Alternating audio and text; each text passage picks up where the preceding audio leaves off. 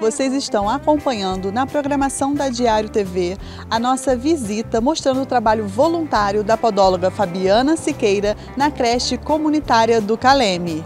E agora você vai conferir um pouco mais dessa história, como surgiu e como funciona essa creche tão importante para os moradores do bairro do Caleme. Confira a matéria.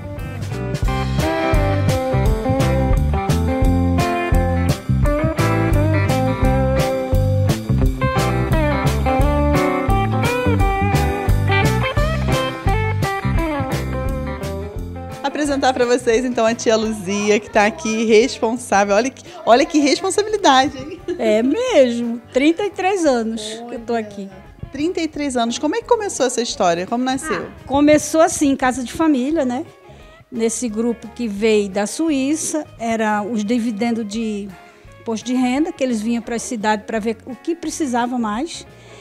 Aí começaram no Rio, depois veio para Teresópolis, aí chegou no bairro do Calema. Aí foi é, perguntar o que a comunidade precisava. E a comunidade precisava de uma creche, que não tinha, né? Nunca foi construída uma creche aqui. Aí a gente começou em casa de família com seis crianças, doze crianças, e foi aumentando.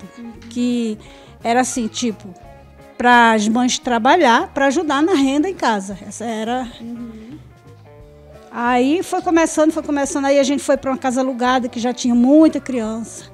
Aí a pessoa não queria mais a, as crianças lá. Aí a gente falou com o nosso diretor, que era a Melissa, hoje em dia ele não está mais aqui no projeto. Aí conseguiu, foi para lá, para a Suíça, para conseguir um fundo para comprar essa casa. Que é esse fundo é do diário de Ana Frank, uma moça que morreu no campo de concentração. Então esse diário é vendido para esses fins. Aí na época a gente conseguiu 15 mil reais, que compramos essa casa, que era assim, bem pequenininha, né? E com doações está chegando agora aqui. Pedindo, pedindo, pedindo, pedindo, até conseguir fazer isso que está aqui, né? Então, nessa proposta, vocês ajudam mães, né, que querem ajudar aí na renda de casa, precisam Isso. trabalhar, né? E aí, como não tem a creche aqui, é um bairro um pouco distante do centro, para quem não é de Teresópolis, então precisa desse apoio de vocês, né? São quantas crianças aqui hoje? Agora temos 68, né? E tem, tem gente esperando, filho de espera ainda. Uhum. É porque o espaço é pequeno. E se tivesse mais espaço e a gente precisa de professor, precisa de várias coisas, e a gente não tem condições de pagar. Uhum. Entendeu? E precisa de gente formada para poder cuidar de criança, porque criança não é só você botar lá e. que hoje em dia não é mais assim. Agora é uma creche escola aqui. Uhum. Antigamente era só cuidados mesmo. Agora virou creche escola, que tem todos os benefícios da escola. E a gente luta de, como se fosse dia e noite para poder conseguir, porque mas até aqui o Senhor nos ajudou, né? Daqui para frente. Me conta assim, para quem está em casa assistindo a gente também, como que as pessoas podem participar ou ajudar? Olha, de várias maneiras.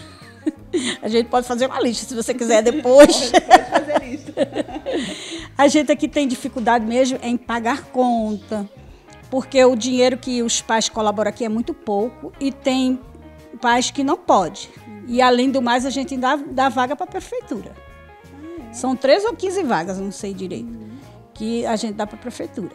E então é muito pouco a, a renda para poder pagar telefone, pagar água, pagar luz, pagar internet, que é necessária para você se comunicar, para poder você ter o retorno, né?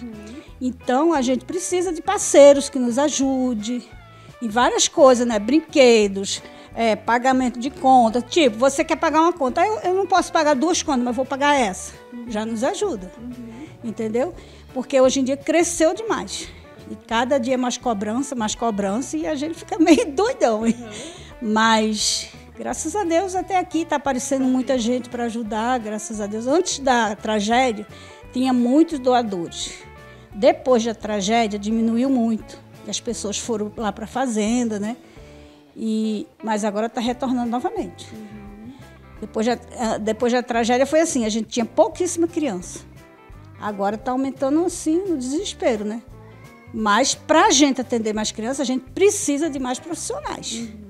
Professor que tem que ter. A gente não tem dinheiro para pagar professor. É, professor. Uhum. E aí que vai emperrando, né? Uhum. Mas a gente está lutando para isso Quem quiser nos ajudar já sabe, né? Muito bem, então vou deixar para vocês o contato para quem quiser ajudar, né, colaborar como voluntário, né, com muitos itens. E também a gente deixa aqui o contato para quem é, quiser falar aqui com você e ver o que está precisando. Ah, a creche aqui está aberta, sabe? Não tem assim marcadia, nem horas. Ah, vou aí, pode vir, a hora que for. Uhum. E a gente tem alguns doadores, assim, parceiro, como o Sesc, uhum. o Vale do Eucalipto, mas a gente, só isso não chega. Sim. Tem que ter muito mais. muito mais. Tem muita criança, né, precisando legal. E agora eu já estou entregando meu bastão para as meninas. Ah, é? É, porque eu já estou muito cansada, eu tenho que cuidar da minha saúde. Então, Ellen já começou cedo, bem novinha, né? Então ela já sabe todos os procedimentos. Ela... A Ellen ficou aqui? Não, era na casa da mãe dela. Ah, começou. Ela ah, então uma dessas casas lá atrás era na casa é, da Ellen. Na casa da mãe ah. dela.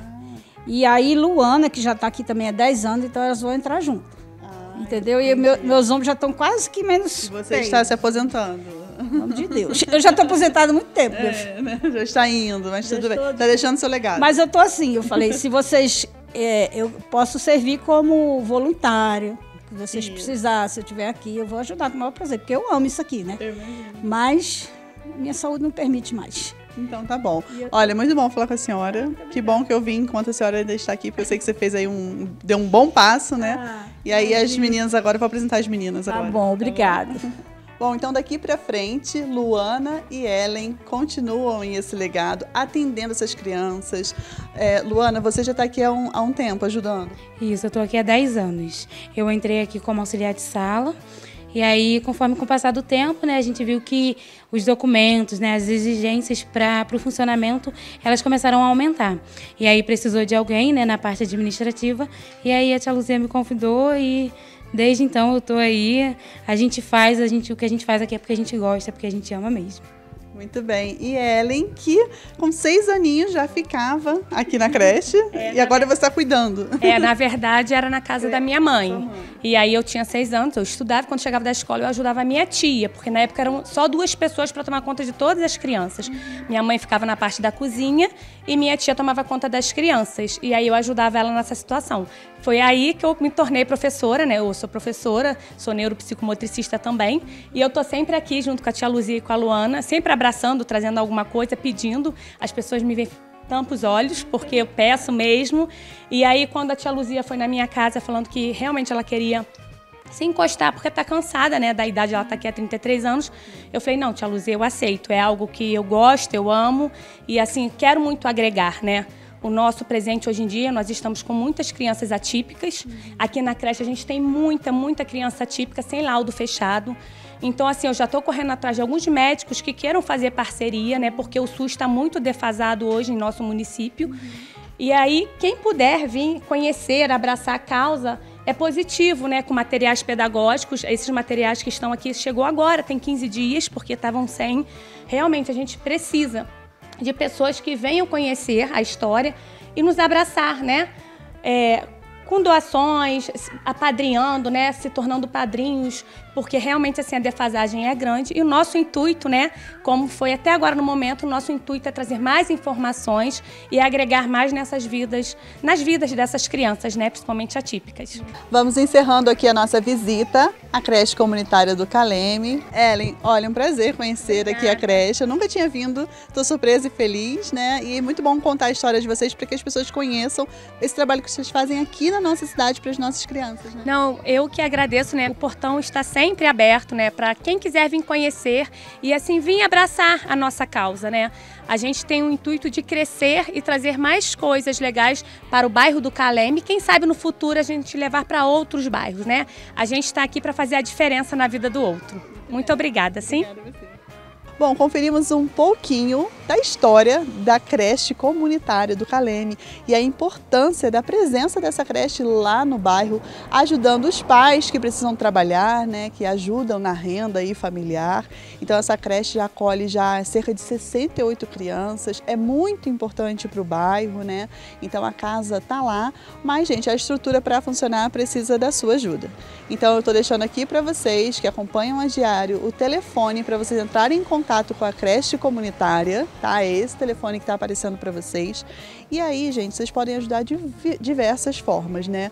Desde doações, como também o trabalho voluntário, se você é profissional, né?